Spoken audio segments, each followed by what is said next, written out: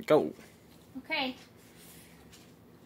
So, Matt Zimmerman posted in the group 29 minutes ago the adult Mustang selections have been made. So I'm about to find out who I got. And my hands are sweaty.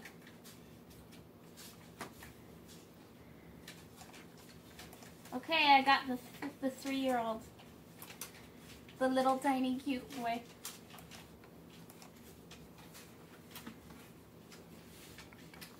Terrence, have you seen this? Mm-mm.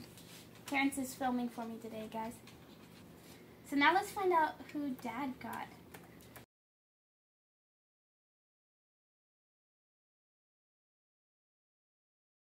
Oh, he got the red dun. Six-year-old. yes. He was the nicest looking Mustang out there. He's almost the same color as Clay.